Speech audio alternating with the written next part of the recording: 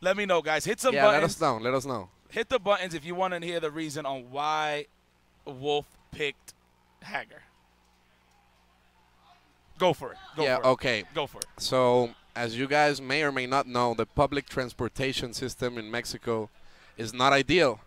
It's sometimes akin to a ride in a roller coaster where you don't have any seatbelt on. Okay. So, this story begins um, with my friend Lingas. Lingas is one of the best Wesker players in all of the world. I can sign that anywhere. He plays Wesker, Ryu, Deadpool. Like, his team doesn't make sense, but his gameplay makes sense. Like, he beats the sense into you. So, he used to be the best where I lived, and to go play with him, I had to go to his house like two or three hours away from my house because Guadalajara is a big city, and I had to like go, take a bus, go play. So after school, I go, I take my stuff. I had my Xbox, uh, my controller, a laptop, and all my school books, and I'm just going to his house and we play. But his house, like you don't see the sunlight go in when you're playing at his room. So we're playing, and I'm like, oh shit, what time is it? And we see and it's like 2 a.m. So I'm like, damn, how am I gonna get back home? And my friend's like, hey, why don't you take the midnight bus? And it's like the last bus that drives around that town. And there were like no taxis. Uber didn't even exist there.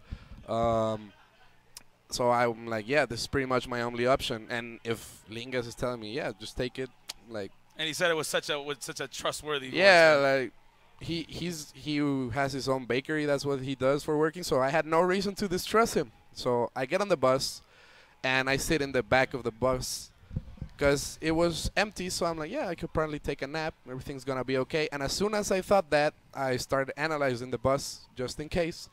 On the left side, there were some cholos, but there were good cholos.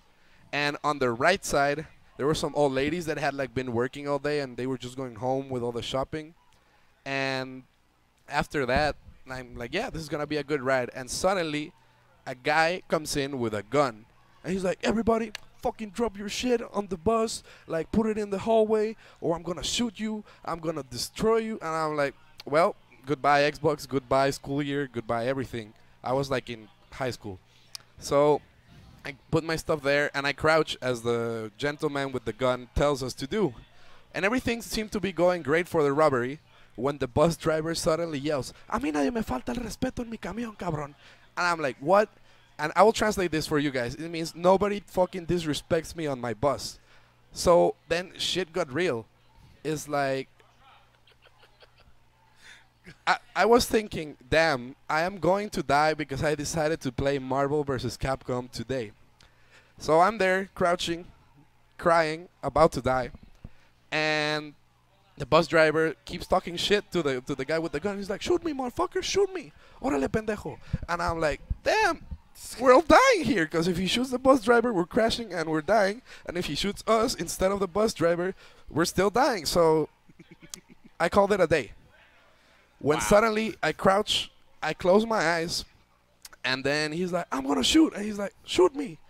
And the guy shoots. I saw him move his hand, and then I just like peek like this, and the guy was looking at the gun like, "What happened?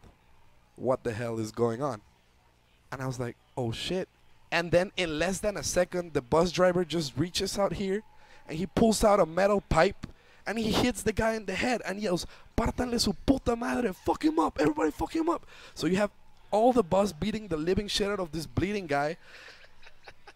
like the cholos were like. like Mexican judo, you don't know what's going to happen, dude. And then the old ladies were like fucking hitting him with the bags, the Walmart bags, taking his shirt off for their son or something. Then I just came in and I just like did the doom hard kick like at the end. and then I realized like, yo, he's not breathing.